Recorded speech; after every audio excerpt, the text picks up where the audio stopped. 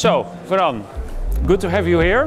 Thank you. You're the CEO of uh, MediaMarkt Saturn. You are here at the IFA, so what do you see as great trends? Well, uh, basically what I'm seeing is that any partner, any supplier is trying to make uh, life of consumer easier. Yeah. And we can split these trends in, in three blocks, we can say. Artificial intelligence. Yes. We see that they are trying, all of you, making products, appliance smarter. The second one, obviously, is connectivity. And here, 5G is going to play a big role. So it will be extremely helpful for the consumer preventing. And the third one, that it's related to easy life as well, is voice control. Okay. Voice control is getting more and more into the devices, and obviously then you don't need your hands. And these are, of course, big trends that we see in the consumer space. And what you also see at IFA is that consumer health is growing tremendously.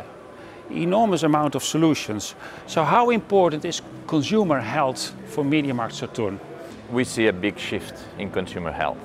We see that personalization of the health is going to be a big trend. So we see that there is a huge opportunity empowering people to track their own health.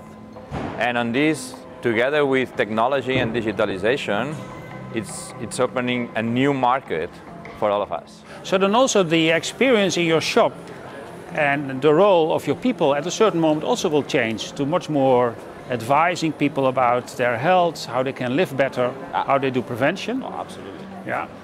So what, what we, how we understand the business today is not just focusing only in the appliance itself, in the device itself, it's just giving solutions. Yeah. So this is related to our employees, of course, with the advising, but this is related as well connecting the care partners to make uh, an easy life again to the consumers to handle the health. Well, Ferran, it's great to have you here at the IFA. Thank you. Very much.